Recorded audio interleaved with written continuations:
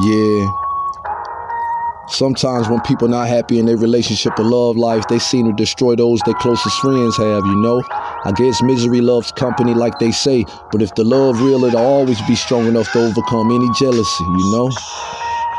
Uh-huh. Yeah. Uh.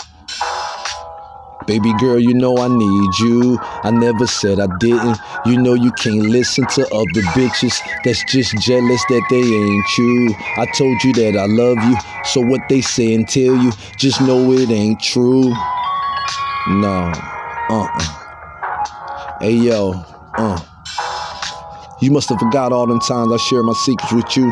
That's cause I knew you probably would keep them between just me and you.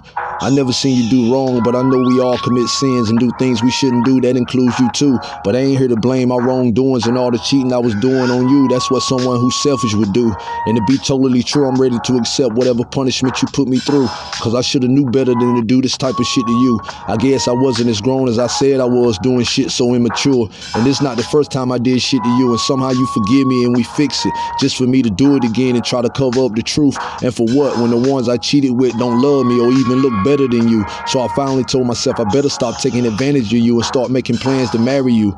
And I'm at this point in life right now, I'm happy enough that I'm ready to ask you to. Cause, baby girl, you know I need you. I never said I didn't. You know you can't listen to other bitches that's just jealous that they ain't you. I told you that I love you. So what they say and tell you, just know it ain't true. No. Uh-uh.